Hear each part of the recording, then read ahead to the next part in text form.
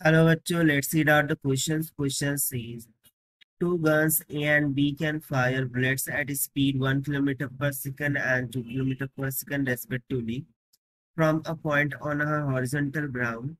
They are fired in all directions. The ratio of maximum areas covered by the bullet on the ground fired by the two guns is. So यहाँ पर हमसे बोला जा रहा है कि दो गन से एयर वो बुलेट्स को फायर करती हैं और उनकी वेलोसिटीज हमें यहाँ पर दे रखी है।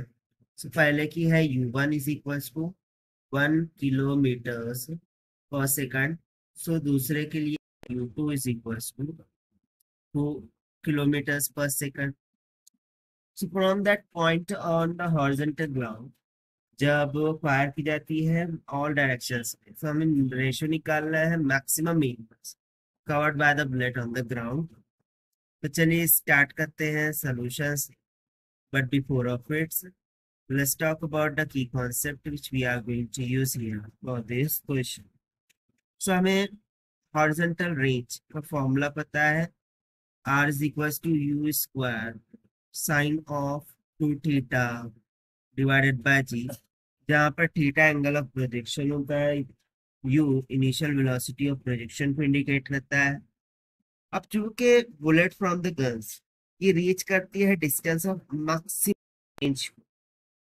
यानी कि जब बुलेट को हम फायर करें सो ऑब्वियसली ये मैक्सिमम रेंज को क्या करेंगे? कवर अप करेंगे। And to occur that maximum range ठीक है? जो एंगल ऑफ़ प्रोजेक्शन है, वो कितना होना चाहिए? फोर्टी फाइव डिग्री यहाँ पर हम सिंपली बोल देंगे कि R maximum this must be equals to Q कितना हो जाएगा? यू स्क्वायर बाय जी के इक्वल क्यों क्योंकि थीटा फोर्टी फाइव डिग्री की इक्वल होना चाहिए सो फोर्टी फाइव टू जार नाइनटी और साइन नाइनटी का वैल्यू कितना हो जाता है? वन की इक्वल तो सिंपली आर मैक्सिमम हमें कितना मिल गया? U square by g so इस फॉर्मूले को हम यहाँ पर यूज़ करेंगे। तो सबसे पहले तो हम गन ए के लिए बात करते हैं।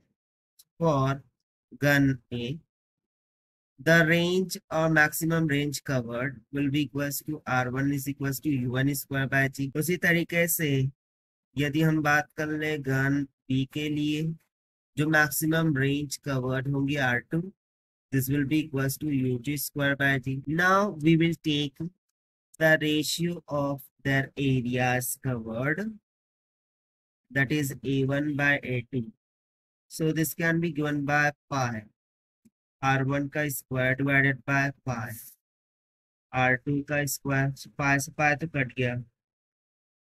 अब आर वन का स्क्वायर और आर टू का स्क्वायर हम यहाँ पे सब्सिट्यूट कर सकते हैं।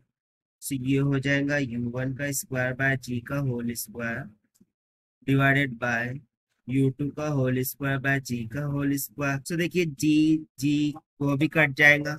सो हमें एरियाज़ का जो रेशियो है वो किसके इक्वल निकल के आ गया? U1 का पावर टू टू ज़ा फोर डिवाइडेड बाय u2 का पावर फोर के। अब चलिए फिर वैल्यूज़ को सब्सिट्यूट कराते हैं। So this will be equals to u1 तो वन है। उसका पावर फोर है। डिवाइडेड बाय u2 हमें कितना दे रखा है? टू उसका पावर फोर सो वन का पावर एनीथिंग वन ही रहेगा। और टू का पावर फोर तो सिक्सटीन हो जाएगा। तो सिंपली हमारे पास एरियाज़ का रेशियो कितना निकल के आ गया वन ओवर सिक्सटीन के इक्वल यही हो जाएगा हमारा required answer for this question जो कि हमने फाइंड किया है by using the formula of maximum so as per the given option option b is correct so this is the required solution i hope you understand it well best of luck thank you